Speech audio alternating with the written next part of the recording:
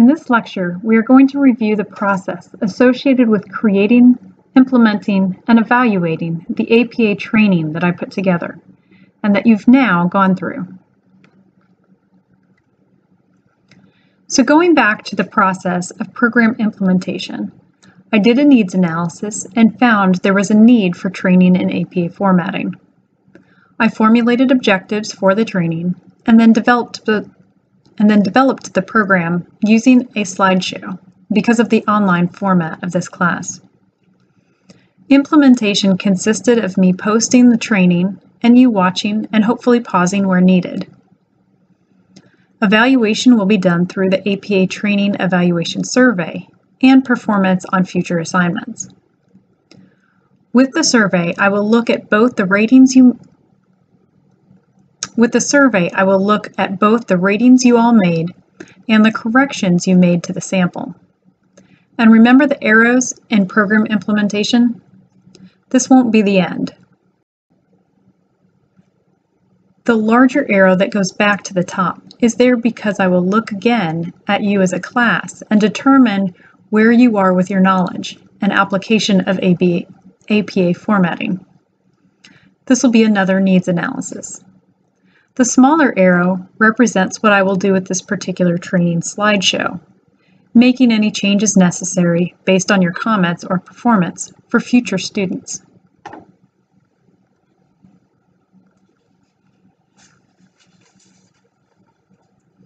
So how did I do my needs analysis? Well, it's pretty basic. I looked at what the job requires.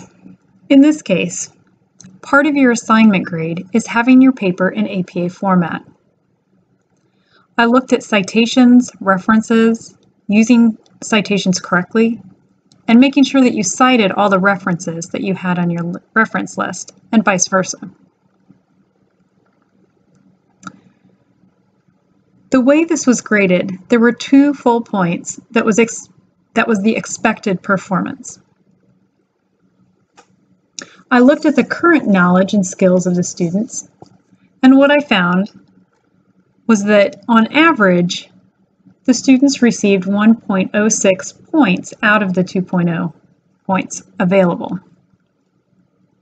This discrepancy between the requirements and the current knowledge and skills was my indication that there was a need for training. And I want to make a note that this was an informal judgment in this particular case. It's not always the case with a needs analysis, but in this case, that difference between what was actually done and what was expected in terms of the scores was me feeling like it was too big of a difference. And honestly, any amount of difference was too big for me. I really wanted these points on your grade to be freebie points because I had the assumption that you either knew APA formatting or could easily look it up and figure out what to do. So here we are with a need. Now what? In setting objectives for the training, I looked to what the APA criteria of the paper were. The rubric says References and citations are used appropriately and are in perfect APA format. So goal number one, citations and references are done correctly, both in terms of their format and use. Appropriate and goal number two, appropriate use and citation of quotes. Objectives changed and grew as I put the training together. I started to figure if I were going to teach you, I should do it right and include things that others will care about. So, goal number two, or this should be goal number three, is basic manuscript characteristics font, spacing, margins, title page and abstract, and formatting of headings. And additional pet peeves of mine got included such as the rules for using numbers versus numerals, and italicizing statistical abbreviations, such as the R for correlation.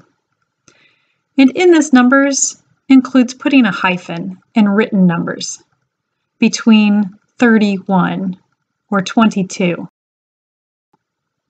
I just want to point out that this is not an APA specific rule. This is an English language rule. So then I put the training together. I designed and developed it. Those words may sound formal, but it's the same thing you do when you put together a class presentation. The formal thing that I did do is that I had certain objectives that needed to be met. I tried to make choices that would accomplish those objectives. But really, when you do a class project, you also have objectives. So you basically do the same thing. So one of my questions was, what type of training should I use? I had to make this decision. So I looked at what the options were. I could do a go-to training session, but that would require everyone to meet at the same time, or for me to give the presentation multiple times. I could have just given you a sample manuscript and said this is what it should look like. But that wouldn't have pointed out the things or common mistakes that people make. I could have given you the citation for the APA manual and had you self-study it. Basically, I tried that already on the syllabus, and that didn't work. It must have been too vague. There really is a lot of stuff in the APA manual, and it's hard to focus in on what one particular professor may want. And another option I had was a PowerPoint slide. Given that this is an online class, it seemed logical to use a PowerPoint presentation. Originally, I was going to do it as a PowerPoint file and have you set it up as a slideshow and go through it. But I felt that was more work on your part. So I learned how to save it as a movie. And if you're ever interested, it's under File and Export, in case you need to know that. However, there were complications there because there's a fixed setting for the slide time. Much inform so some slides that had too much information on them went too fast. So I had to split those into several slides, particularly the ones on citations and references.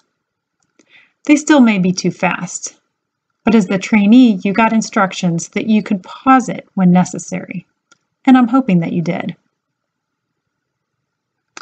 So when looking at what would work well for this set of employees, for you as students, I figured the, the familiarity with online presentations matched up well with having this PowerPoint movie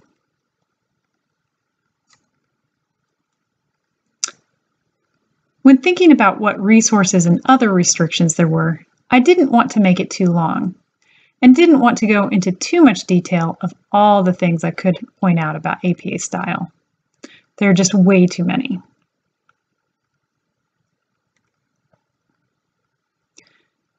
So I chose the PowerPoint slideshow. And if you look at your book at the various ways of describing different methods of training, this is considered web-based and off-site training. Once we have a training program put together, we need to test it.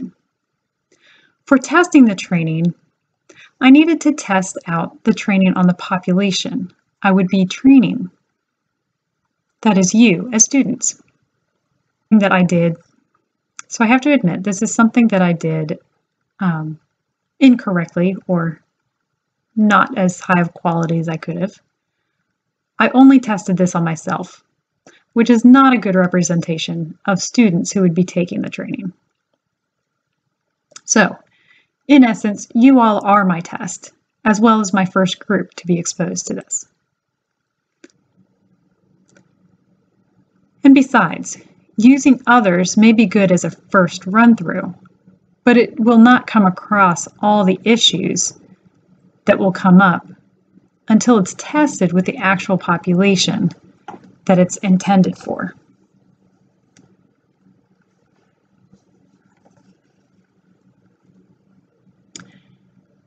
So then the training was implemented. I posted the training as part of Module 6, 6.3, and made an announcement. You all clicked on the slideshow and hopefully watched and paused where you needed. This is where you were active participants, or learners. So I want to make some notes about this. Many features of this training were not standardized. If you think about it, when and where you viewed it could be different for different people. Some people could have seen the slideshow before completing assignment two. Others may have watched it after completing assignment two. How often and for how much time the presentation was paused is going to differ from student to student. And how many times it was watched may be different from student to student. If I had the technology, and it's possible that I do, I don't know everything about Canvas, I could collect this information and use it in my statistical analyses to either control for or test these factors. For example, I could ask the question, did watching the slideshow more times increase its effectiveness?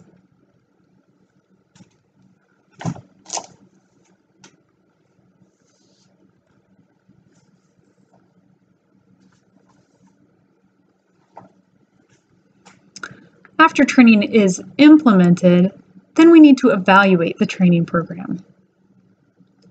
So what was the purpose of the training? We need to look back at the goals. Did we achieve that? Hmm, this is a good question. Did we? How can we know if we did?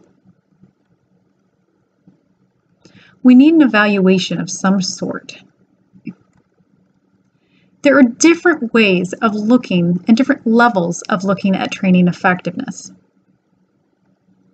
Kirkpatrick, back in 1959 and 60, published articles that talked about different levels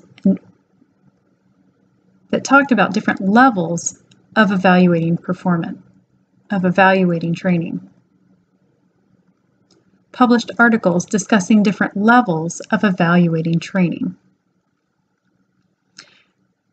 At the initial or basic level is the reaction of trainees. What were their impressions? Did they like it? Did they feel like it was useful? Level two is learning. And this is testing that something has actually been learned and retained. Level three is behavior. Transferring that training to the job and seeing if new behaviors are actually being shown, particularly the behaviors that were meant to be trained. And level four is that of results, whether the training had some impact on organizational outcomes. As you can see, this grows from a direct response to the training to longer term and more distal outcomes. So what will I look for in the evaluations? The reactionary criteria I had in the survey, things like, did you like the training? Did you feel like it was helpful? Will be something that I look at. But whether you feel like it was helpful doesn't tell me if it actually was. You may feel like you learned something, but make no changes in your behavior. So I need some learning criteria. How did people do on the sample that I asked you to correct and upload to the evaluation survey? And the nice thing about the way this is set up is we have some future assignments that will also be graded on APA formatting. So I can compare your behavior and implementing these this new information to your future assignments. And then the results would be your grades. Now, APA formatting is not a major component of your grades, so it's not going to have a huge impact on your overall class grade. But it may have an impact on your assignment grades. So does it matter if we know causality? I mentioned that causality does not matter so much for the selection of employees. If we know two things are related, we can predict one from the other. And we might not care why. In the case of selection, in many cases, it doesn't matter. If people who like watermelon make better pastry chefs, woohoo, hire them. With the caveat that we should make sure there isn't any adverse impact on subgroups. However, now we are talking about making changes to one part of a system. In this case, the employee. Knowing, knowing causality really does matter here. Anytime we want to have an impact and make changes on human behavior, we should have a sense of the causal direction of factors involved. Will helping people like watermelon more, perhaps through classical conditioning, make them better pastry chefs? We must know that the liking of watermelon causes the performance of a pastry chef. If not, we've wasted our time and resources, as well as that of the trainees. So yes, knowing that the training and not something else is causing any improvement in performance is important.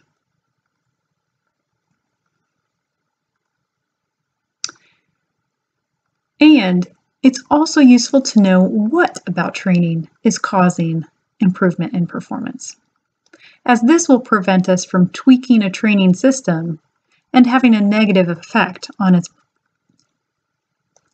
and having a negative effect on its effectiveness.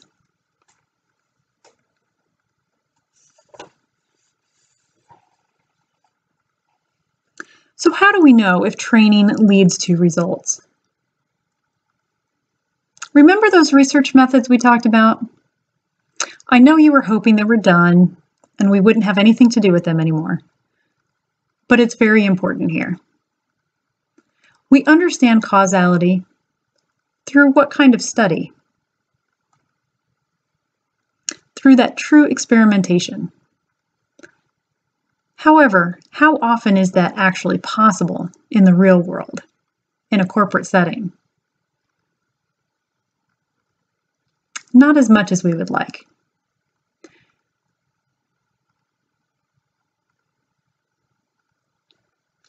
So what's the next best thing? Our quasi-experimental designs. If you remember, these are the study designs that look a lot like experiments because the researchers can and do manipulate one or more independent variables but they cannot randomly assign people to conditions for one reason or another. If we are lucky, we can randomly assign groups. So it's close, but it's still not the same as randomly assigning individuals, which is what is necessary for it to be a true experiment. So back to our APA training. How do we know it wasn't something else that caused results? So say I find that the APA scores on the assignments after the APA training are significantly better than those before the training. How do I know it was the training slideshow that made the difference? What else could it be? Well, there are many other factors that could have had an impact.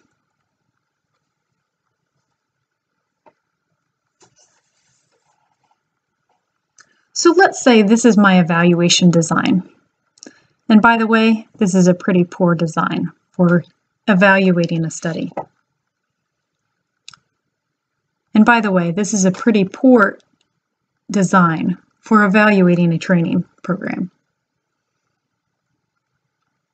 So I have training, I give it to everyone, and then I look at the results. Your surveys say you liked it, so yay, it was successful. I could also look at those samples and everyone did wonderfully and corrected them perfectly. But there are other things that could have had an impact. For example, feedback on the first assignment. I gave feedback to everyone to let them know what they did incorrectly. Using that feedback may have changed people's behavior in the future, gave them information to change how they did their citations and references. Maybe just doing it a second time, using APA format for a second time, or doing an assignment for me as an instructor. You could be learning from your group. You've also turned in a group assignment now. And during that group assignment, may have discussed what was appropriate formatting.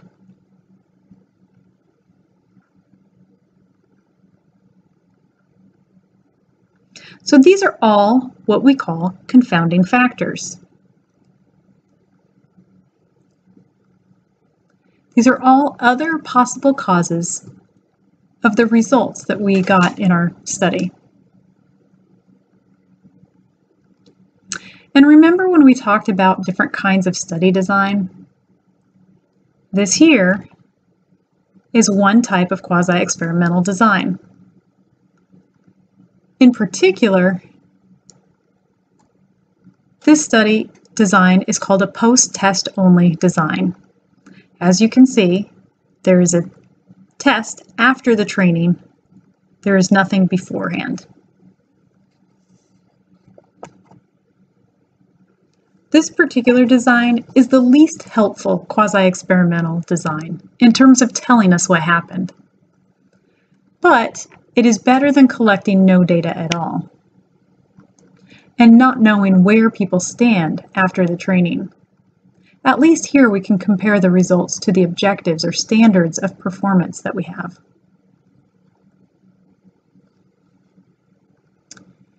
So how could we design a better training evaluation study? One that would separate the effects of the training from those confounding factors. One of the most useful things we can do is to add a control group. So here we have an intervention group, and we can take another class and have a control.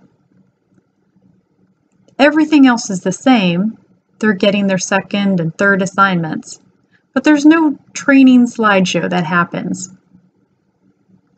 And we can compare the results of these two different groups. So both groups would have the same experience other than the training intervention. So what makes this not a true experiment? If you look at these groups, there is no random assignment of individuals to the classes. People have self-selected themselves into the classes. There may be experiences that the class has as a whole, as a group, that's going to have an impact on the results. So because it is groups being assigned to either having the training or not, that makes this another example of a quasi-experimental design.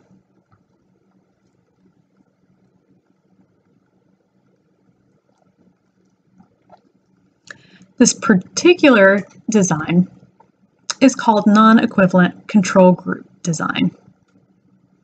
These are pretty clever names, huh? They basically tell you what the design does. In this case, we have the group that gets the intervention and the group that serves as a control to compare it to.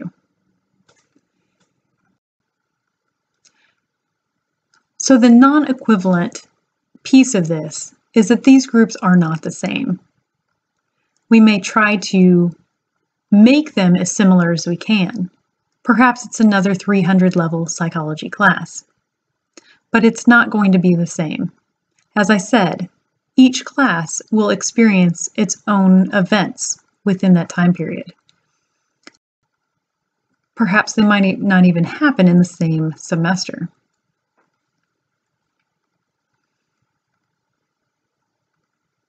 So we have the two groups that get the, so we have the group that gets the intervention and the group that serves as a control to compare it to. If simply getting feedback from the instructor, or simply doing another similar assignment, or learning from group members, are factors that are causing the results to, to look relatively high. Then both groups should have high scores. If the training itself has an effect, then only the intervention group will have significantly higher score, scores than the control group. If the training itself has an effect, then the intervention group will have significantly higher scores than the control group. This will be the case even if both of them improve. So another option we have is to have only one group, but have a pre-test before the training. And in essence, this is what I actually did, because I can use that assignment one as the pretest. This pretest gives us a baseline performance for students. Then everyone gets the training slideshow. Afterward, afterwards, everyone takes a post-test, which allows comparison to performance on the pretest. So you may or may not have noticed, I made some slight changes to the grades on the first assignment. Any change that I made only made the grade go up slightly. I adjusted the rubric scaling to match what it was meant to be originally, and what all future assignments will now have. So now I'll be able to compare the scores from assignment 1 to assignment 3 and to assignment 2.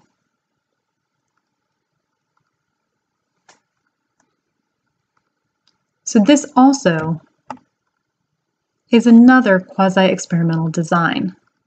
This one has the name Pre-Test Post-Test Design. Clever again, huh?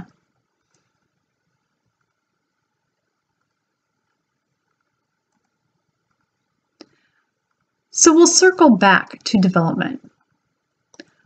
Once I have results of the training effectiveness from my multiple sources, which includes your ratings, your comments, APA samples from the training, and future assignment scores. Then I will have some idea of the strengths and weaknesses of the training. I can then go back to the training and fix problems to strengthen it for the next round. And then I'll do it all again. I'll evaluate and make changes again. So I want to acknowledge all of you for being my trainees as I tested out this training program for the first time. I hope it was useful, and I do hope it was successful in changing behavior and having improved scores on your APA formatting on future assignments.